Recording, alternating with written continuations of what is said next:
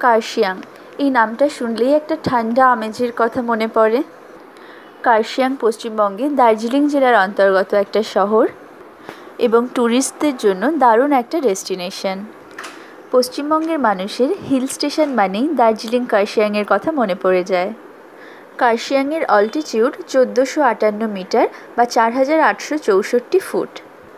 আপনারা যদি উইকেন্ডে কার্শিয়াং যাওয়ার কথা ভাবছেন বা দার্জিলিং গেলে ফেরার পথে বা যাওয়ার পথে দুদিনের জন্য কার্শিয়াংয়ে স্টে করতে চান, তাহলে কার্শিয়াংয়ের এই জায়গাগুলো কিন্তু একেবারেই মিস করবেন না।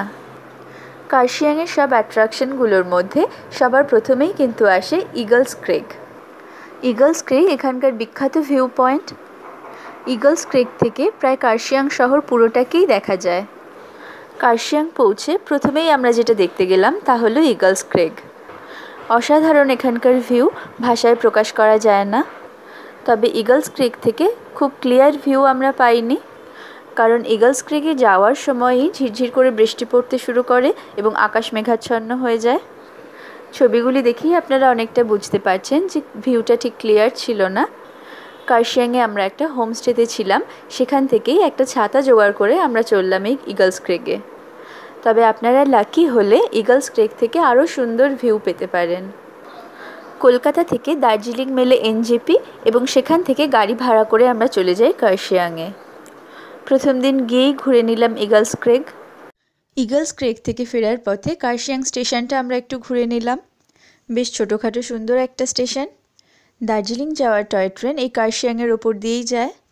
কার্শিয়াংয়ে আমাদের এর পরের ডেস্টিনেশন নেতাজি সুভাষচন্দ্র বোস মিউজিয়াম। আমরা যে হোমস্টেটাতে ছিলাম, সেটা ইগলস ক্রিক ভিউ পয়েন্টের খুব কাছেই, তাই আমরা হেঁটেই চলে এলাম।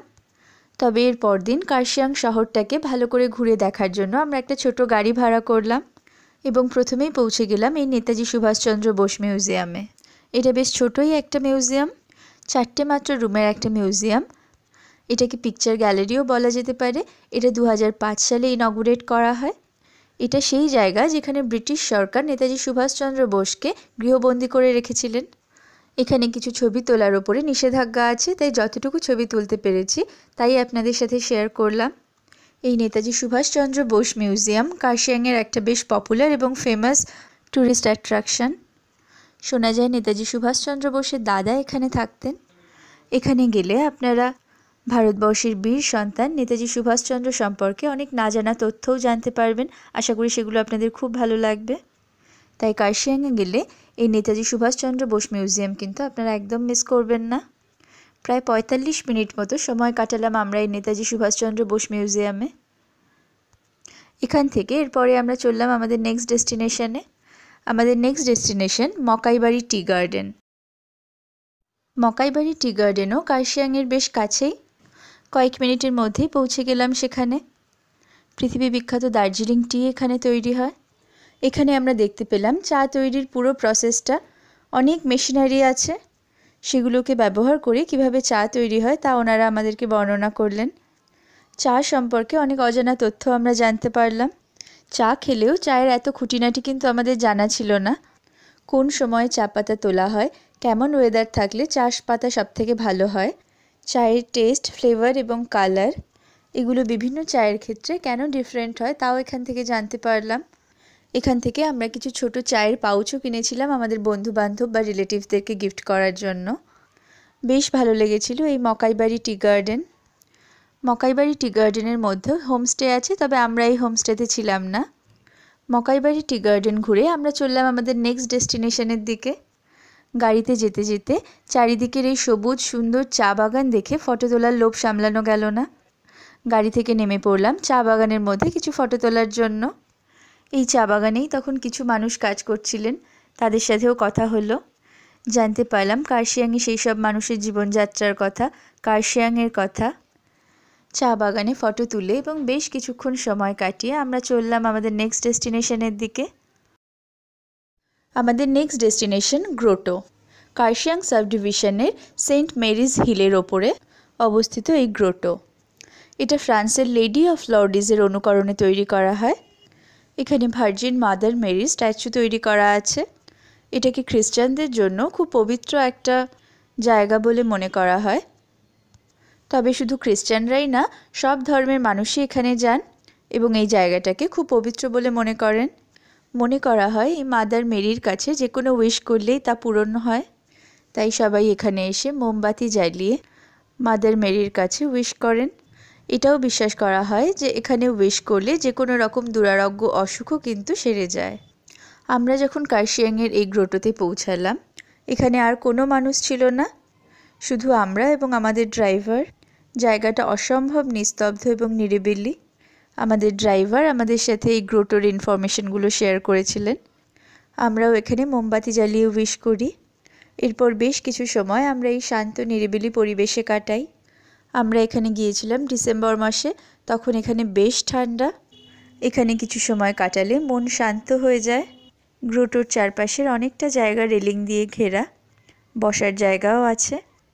সেখানে আমরা বেশ কিছুক্ষণ বসে আমাদের গল্প করে এবং কার্শিয়াংয়ের ইতিহাস জেনে তারপরে চললাম আমাদের নেক্সট ডেস্টিনেশনের দিকে।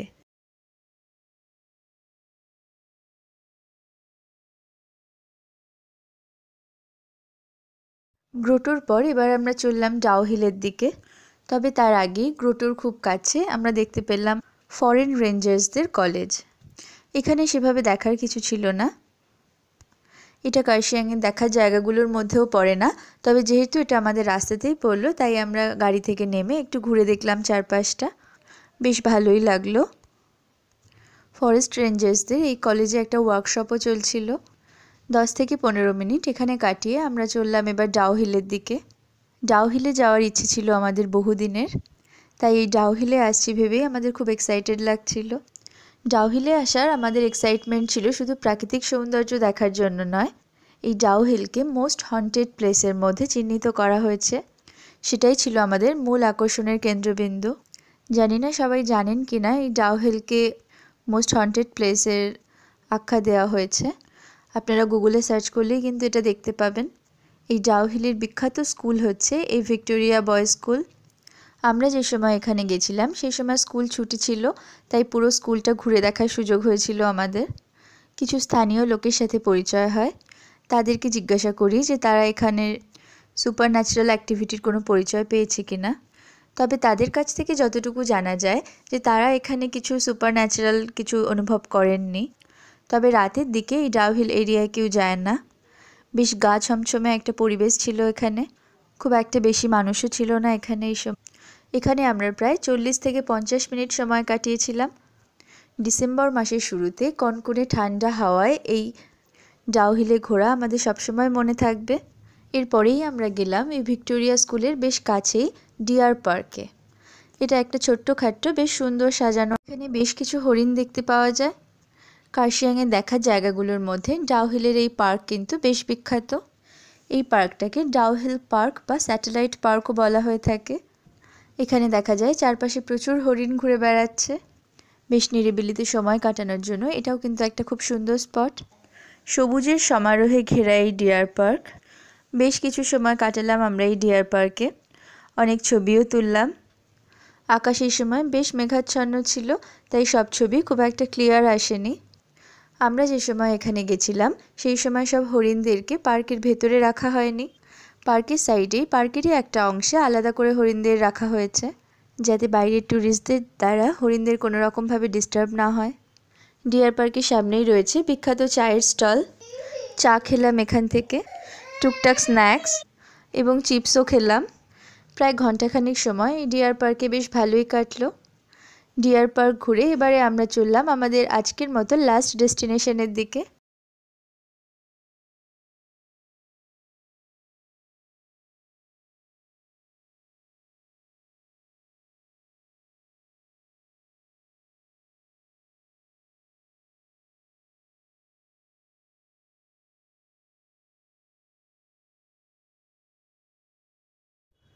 এরপর আমরা চলে গেলাম ডাউহিলের ফরেস্ট মিউজিয়ামে। কার্শিয়াংয়ের আশেপাশে দেখার জিনিসগুলোর মধ্যে এই জায়গাটা অন্যতম। এটাকে কার্শিয়াংয়ের ফরেস্ট স্কুলস মিউজিয়াম বলা হয়। তবে দুর্ভাগ্যবশত আমরা যেদিন গেছি সেদিন এই মিউজিয়ামটা বন্ধ ছিল। তাই এই মিউজিয়ামে ভেতরে ঢোকার সৌভাগ্য আমাদের হয়নি। তবে আমাদের ড্রাইভারের কাছ থেকে জানতে পারি, এখানে ওই রিজিয়ানের কিছু পশু পাখির ছবি আছে। পশু পাখিদের চামড়া, হাড় এগুলো সংরক্ষণ করা আছে। কাঠের তৈরি কিছু স্পেসিমেনও এখানে রাখা আছে। এই মিউজিয়ামে ঢোকার ভেতরে। সৌভাগ্য না হলেও আমরা মিউজিয়ামের চারপাশটা ঘুরে দেখলাম। আশপাশের পরিবেশটাও খুব সুন্দর, শান্ত, নিরিবিলি এবং ঠান্ডা। তবে মানুষজন না থাকায় এবং আকাশ মেঘাচ্ছন্ন থাকায় জায়গাটা কিন্তু বেশ গা ছমছমে। এই মিউজিয়ামের আশপাশটা ভালো করে ঘুরে নিয়ে এবারে আমরা ডাউহিল থেকে নেমে আসি কার্শিয়াং বাজারের দিকে। কার্শিয়াং বাজারের কাছেই ছিল আমাদের হোমস্টে।